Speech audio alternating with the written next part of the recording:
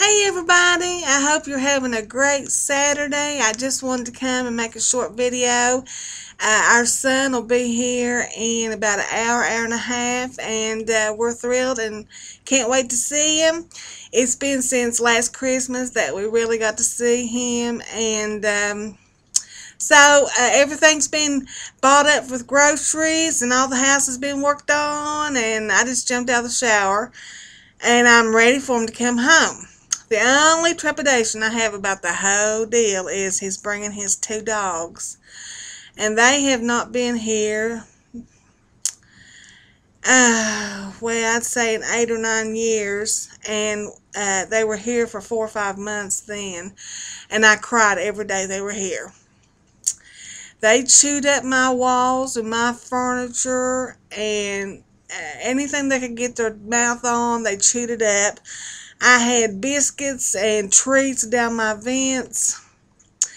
They had pooped and pissed all over the place constantly. In fact, so bad that we had to take out part of the carpet.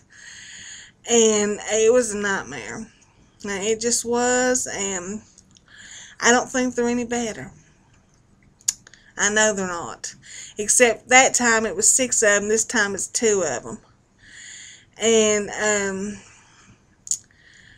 I just pray that the boy dog doesn't come in here and hike his leg on everything I own. I, that's the only thing. I just don't want him to do that. You know, I don't care if they bring dirt in here. Dirt can be, you know, but that pissing and pooping, I can't handle it now. I just can't. And I think they're past the chewing stage. I sure hope so. I asked my son if they chewed on cables and stuff because I wanted everything up. I mean, they chewed through lines and chewed through door frames and drywall and I did. I cried every day they were here. and I want to enjoy this visit. So pray that that little bear's his name. Pray that he doesn't come in here and want to mark every area of the house. We're not letting them upstairs. We've blocked the upstairs so Jasper can be up there. And James is taking his litter box and his food and things up there. And we've made an opening in the steps where Jasper can jump onto the dining room table and come down here to be with us. Then he's got a way to go back up the steps, you know, so...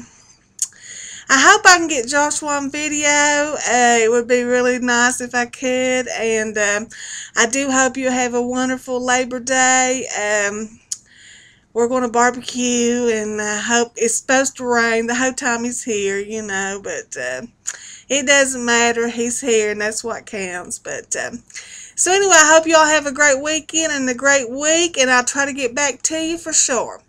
This is Melissa reporting from up in the holler. Bye, everybody.